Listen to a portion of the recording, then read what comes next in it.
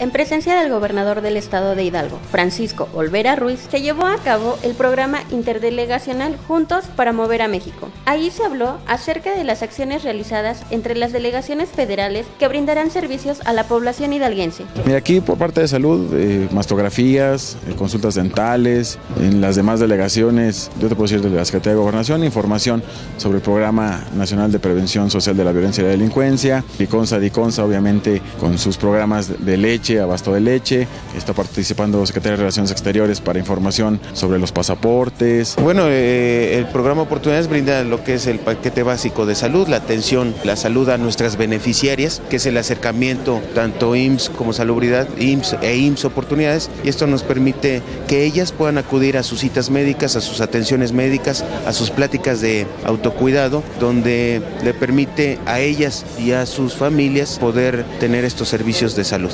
you